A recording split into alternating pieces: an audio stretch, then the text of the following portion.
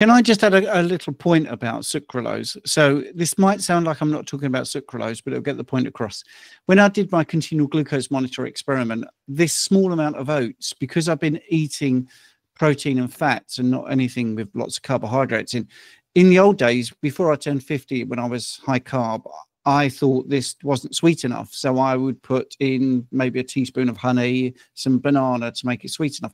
Well, when I did my continual glucose monitor experiment at 60 after 10 years of low carb, uh, of which six was carnivore, this tasted really sweet without any any um, sweetener no honey, nothing. I didn't need it. And my continual glucose monitor really did spike.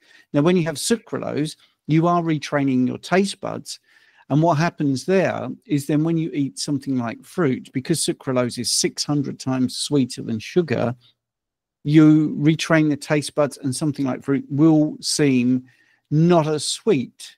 And this can have a knock on effect with cravings. So, the artificial sweetness for some people can be a really big problem but also we've got to look at what how how our body is adapting to what we're putting into our mouth. So, like you say, the sweet taste on your tongue and the cephalic response from expecting sweetness will have a physiological change in your body.